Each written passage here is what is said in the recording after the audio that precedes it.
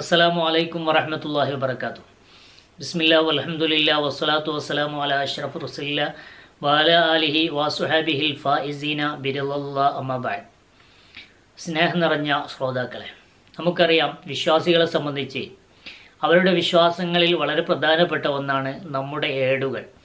അള്ളാഹു നമുക്ക് എല്ലാം ഏടുകൾ സംവിധാനിച്ചിട്ടുണ്ട്. നമ്മുടെ നന്മകളും തിന്മകളും അതിൽ രേഖപ്പെടുത്തപ്പെടും. അതിന് പ്രത്യേകം മലക്കുകളെ അള്ളാഹു താല നിശ്ചയിച്ചിട്ടുണ്ട്. അവരത് രേഖപ്പെടുത്തുകയും നാളെ പാരത്രിക ലോകത്ത് ഒരാൾ അവൻ സൽക്കർമ്മകാരിയാണോ സ്വർഗത്തിന്റെ അവകാശിയാണോ എങ്കിൽ അയാളുടെ ഏട് അയാളുടെ വലത് കൈയിലും നരകത്തിന്റെ അവകാശിയാണെങ്കിൽ അയാളുടെ ഏട് ഇടത് കൈയിലും നൽകപ്പെടും. എന്നാൽ ഈ ഏടുകളിൽ രേഖപ്പെടുത്തപ്പെട്ട നമ്മൾ ചെയ്തു പോയ ദുഷ്കർമ്മങ്ങൾ അഥവാ തെറ്റുകൾ ഈ തെറ്റുകളെല്ലാം മായ്ക്കപ്പെട്ട് ജനിച്ച് വീണ ഒരു കുട്ടിയെ പോലെയാകുന്ന ചില ആളുകളുണ്ട്. ചില കാര്യങ്ങൾ ചെയ്യുമ്പോഴാണ് അത് സംഭവിക്കുന്നത്. ഏതെല്ലാമാണ് ആ കാര്യങ്ങൾ? അത്തരം സുഹൃതങ്ങൾ എന്തെല്ലാമാണ് എന്നതാണ് ഇന്ന് നമ്മൾ പരിശോധിക്കുന്നത്. പുണ്യ നബി സല്ലാ അലൈഹി സ്വലമാ തങ്ങളുടെ ഒരു ഹദീസാണ്. അതിന് നിദാനം. നബി സല്ലാ അലൈഹി സ്വലമാ തങ്ങൾ പറഞ്ഞു അർബാഴത്തു നഫരി യസ്താനിഫൂൻ അൽ അമല. നാല് വിഭാഗം ആളുകൾ. അവർ അമലിനെ തല തുടങ്ങുകയാണ്. യസ്താനിഫൂനൽ അമല എന്ന് പറഞ്ഞാൽ അമലിനെ തല തുടങ്ങുകയാണ്. എന്ന് പറഞ്ഞാൽ അവർ ഇതുവരെ ചെയ്ത എല്ലാ തിന്മകളെയും അള്ളാഹു മായ്ച്ചു കളയുകയും ഇനി അവർ എന്തെങ്കിലും തിന്മകൾ ചെയ്യുന്നുണ്ടെങ്കിൽ മാത്രം അത് രേഖപ്പെടുത്തപ്പെടുകയും ചെയ്യും. അഥവാ ഇവർ ചെയ്യുന്ന കാര്യങ്ങൾ കൊണ്ട് അള്ളാഹു അവരെ പിറന്നു വീണ ഒരു കുട്ടിയെപ്പോലെ അവരുടെ ഏടുകൾ സംശുദ്ധമാക്കുകയും അവർ ചെയ്ത നന്മകൾ മാത്രം ആ ഏടുകളിൽ നിലനിർത്തുകയും തിന്മകളെല്ലാം അള്ളാഹു മായ്ച്ചു കളയുകയും ചെയ്യുമെന്നാണ് പുണ്യ നബി സല്ലല്ലാഹു അലൈഹി സ്വലമ തങ്ങൾ പഠിപ്പിക്കുന്നത്. അതിൽ ആരെല്ലാമാണ് ആ ആളുകൾ എന്ന് നമുക്ക് പരിശോധിക്കാം. നാല് വിഭാഗം. ഒന്നാമത്തതാൽ മരിയലു ഇതാ ബരിയ നബിസ്വല്ലാ അലൈഹി സ്വലമ തങ്ങൾ പറഞ്ഞു ഒരു രോഗി ആ രോഗത്തിൽ നിന്ന് ശിഫ പ്രാപിച്ചു കഴിഞ്ഞാൽ അവൻ യസ്ത അനിഫു അൽ അമല അമലിനെ തല തുടങ്ങുന്നവനാണ് എന്ന് പറഞ്ഞാൽ അവന്റെ തെറ്റുകളെല്ലാം ഏടിൽ നിന്ന് അള്ളാഹു മാച്ചു കളഞ്ഞു എന്നാണ്. അപ്പോൾ ഒരു രോഗി ആ രോഗത്തിൽ നിന്ന് ശിഫയാകുക എന്ന് പറഞ്ഞാൽ എന്താണ് അയാളുടെ തെറ്റുകൾ മായ്ക്കപ്പെടാനുള്ള കാരണം?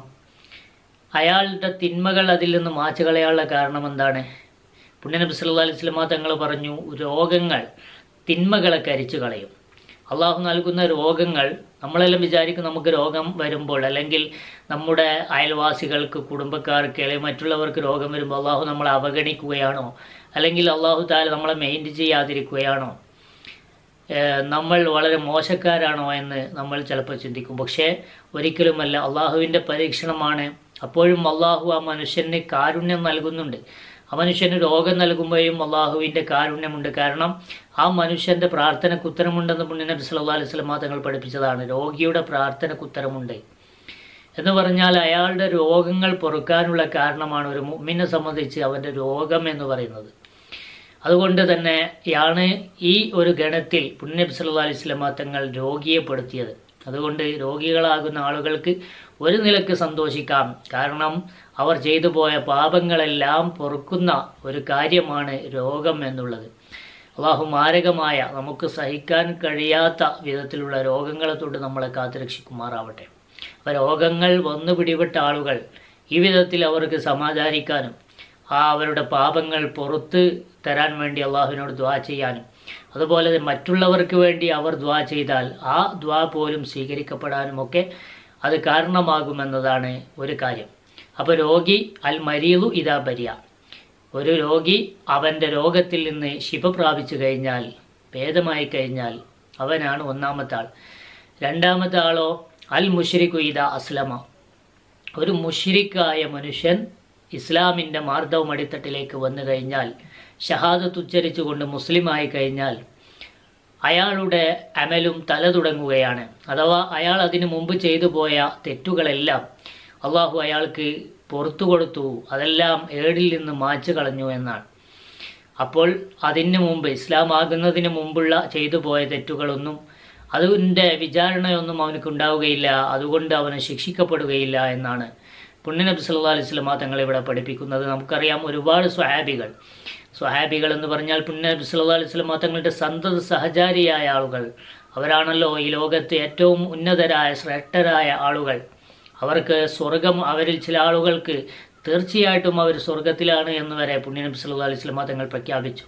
ആ ഓരോരുത്തരെയും പരിശോധിച്ച് നോക്കിയാൽ അവരുടെ പൂർവകാല ജീവിതം ഇസ്ലാമിന് മുമ്പുള്ള ജീവിതം വളരെ മോശമായിരുന്നു എന്ന് കാണാൻ സാധിക്കും. അഥവാ ഇസ്ലാമിലേക്ക് വരുന്നതിന് മുമ്പ് അവർ മദ്യപിച്ചിരുന്നു. ഇസ്ലാമിലേക്ക് വരുന്നതിന് മുമ്പ് വ്യഭിചരിച്ചിരുന്നു. ഇസ്ലാമിലേക്ക് വരുന്നതിന് മുമ്പ് മാരകമായ കൊലപാതകങ്ങൾ അവർ നടത്തിയിരുന്നു. എന്നിട്ടും പരിശുദ്ധമായ ഇസ്ലാം സ്വീകരിച്ചതോടുകൂടി അവരുടെ ദോഷങ്ങളെല്ലാം അള്ളാഹു പുറത്തു കൊടുക്കുകയും മാത്രമല്ല ലോകത്തുള്ള ജനങ്ങളിൽ ഏറ്റവും ഉന്നതമായ ശ്രേണിയിലേക്ക് അള്ളാഹു അവരെ ഉയർത്തുകയും ചെയ്തു എന്നതാണ്. അപ്പോൾ ഇസ്ലാം എല്ലാ തിന്മകളെയും മായ്ച്ചു കളയുന്നതാണ്. അപ്പോൾ ഒരു മുഷ്രിക്കായ മനുഷ്യൻ മനുഷ്യൻ ഇസ്ലാമിലേക്ക് വന്നു കഴിഞ്ഞാലും ഈ ഗണത്തിലാണ് പെടുക. അവന്റെ ഏട് അമലിന്റെ ഏടിലെ തിന്മകളുടെ ഭാഗം മുഴുവൻ മാച്ചു ഇനി മൂന്നാമത്തെ ആൾ അൽ മുൻസരിഫു മിനൽ ജുമാഅത്തി ഈമാനൻ വഹ്തിസാബൻ. ഈമാനോടുകൂടെ വിശ്വാസത്തോടുകൂടെയും പ്രതിഫലേച്ഛയോടുകൂടെയും ജുമാക്ക് പോയി ആ ജുമാ കഴിഞ്ഞു വരുന്ന ആൾ എന്നാണ് പറഞ്ഞത്. അപ്പോൾ ഈമാൻ വിശ്വാസത്തോടുകൂടെ എന്തോ കാര്യങ്ങൾക്ക് വേണ്ടി കാര്യലാഭങ്ങൾക്ക് വേണ്ടിയോ അല്ലെങ്കിൽ മറ്റാരെങ്കിലും ആരെയെങ്കിലും ബോധ്യപ്പെടുത്താൻ വേണ്ടിയോ ചുമക്ക് പോയ ആളല്ല. ഓരോ ആഴ്ചയിലും നമുക്ക് പ്രാപ്യമായ കാര്യമാണിത്. അയാൾ അയാൾ ജുമ കഴിഞ്ഞ് മടങ്ങി വരുന്ന സമയത്ത് അയാളുടെ തിന്മയുടെ ഏടിനെ മുഴുവൻ മായച്ചു കളഞ്ഞിട്ടുണ്ടാകും എന്നാണ് പുണ്യനം സല്ലാ അലൈഹി വസല്ലം തങ്ങൾ പഠിപ്പിക്കുന്നത്. അപ്പോൾ ഈമാനോടുകൂടെയും പ്രതിഫലേച്ഛയോടുകൂടെയും ഒരാൾ ജുമാക്ക് പങ്കെടുത്ത് ആ ജുമായാൽ നിന്ന് സ്വീകരിക്കപ്പെട്ടാൽ തീർച്ചയായിട്ടും അവന്റെ കഴിഞ്ഞുപോയ പാപങ്ങൾ മുഴുവൻ അള്ളാഹു മാച്ചു കളയുമെന്നാണ്. അവന്റെ ഏട് പിന്നെ തല തുടങ്ങുകയാണ്. അഥവാ അവന്റെ നന്മകൾ അവിടെ നിലനിർത്തുകയും തിന്മകൾ മുഴുവൻ അള്ളാഹു മാച്ചു കളയുകയും ചെയ്തിട്ടുണ്ട്. വളരെ പ്രധാനപ്പെട്ട കാര്യമാണ്. അപ്പോൾ അവിശ്വാസത്തോടുകൂടെയും ആ തക്കവയോടുകൂടെയുമാണ് ഓരോ ആഴ്ചയും നമ്മൾ ജുമായിൽ പങ്കെടുക്കേണ്ടത്. നാലാമത്തെ കാര്യം അൽ ഹജ്ജു മിൻ കസ്ബിൻ ഹലാൽ. ഹലാലായ സമ്പാദ്യത്തിൽ നിന്ന് ഹജ്ജ് ചെയ്യുന്ന ആളാണ് അഞ്ചാമത്തെ ആൾ ഹജ്ജ് എന്ന് പറഞ്ഞാൽ അവന്റെ എല്ലാ പാപങ്ങളെയും അള്ളാഹു പുറത്തു കൊടുക്കുന്ന ഒരു മഹത്തായ കർമ്മമാണ് അമലാണ്. അള്ളാഹു നമുക്കെല്ലാം സൗഭാഗ്യം നൽകി അനുഗ്രഹിക്കുമാറാവട്ടെ. ഒരു വട്ടം ചെയ്തവർക്ക് അള്ളാഹു ഒരുപാട് ഹജ്ജുകൾ ചെയ്യാൻ അള്ളാഹു തോഫിക്ക് നൽകി അനുഗ്രഹിക്കുമാറാവട്ടെ. ഒരു മബറൂറായ ഹജ്ജിന് സ്വർഗമല്ലാതെ പ്രതിഫലമില്ല എന്ന് പുണ്യനബി സല്ലല്ലാഹു അലൈഹി സ്വലമ തങ്ങൾ പഠിപ്പിച്ചതാണ്. ഹജ്ജിന് സ്വർഗമല്ലാതെ പ്രതിഫലമില്ല. അഥവാ ഹജ്ജ് അള്ളാഹു സ്വീകരിച്ചാൽ ആ ഹജ്ജ് ഒരു മനുഷ്യനിൽ നിന്ന് സ്വീകരിക്കപ്പെട്ടാൽ സ്വർഗം മാത്രമാണ് അതിന്റെ പ്രതിഫലം. അഥവാ അവനക്ക് സ്വർഗം ഉറപ്പാണെന്നാണ് പുണ്യനബി സല്ലല്ലാഹു അലൈഹി വസല്ലം തങ്ങൾ പഠിപ്പിച്ചത്.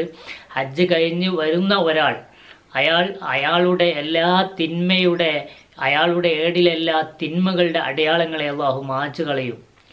പിന്നെ അയാൾ ചെയ്യുന്ന തിന്മകൾ മാത്രമേ ഉണ്ടാവുകയുള്ളൂ. ആ ഏടുകൾ രേഖപ്പെടുത്തപ്പെടുകയുള്ളൂ. എന്നാൽ ഒരാളുടെ ഹജ്ജ് കൃത്യമായി മക്കബൂലും മബറൂറുമായി സ്വീകരിക്കപ്പെട്ടാലോ അയാൾ തിന്മകളിൽ നിന്ന് അകന്നു നിൽക്കും. അത് ആ ഹജ്ജ് സ്വീകരിക്കപ്പെട്ടതിന്റെ ഒരു അടയാളമാണെന്നും മഹാന്മാരായ പണ്ഡിതന്മാർ രേഖപ്പെടുത്തിയതായി കാണാൻ സാധിക്കും.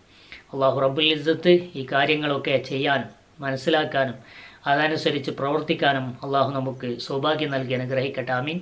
അസ്സാം വലൈക്കും വറഹമത്തല്ലാഹി വബർക്കാത്തു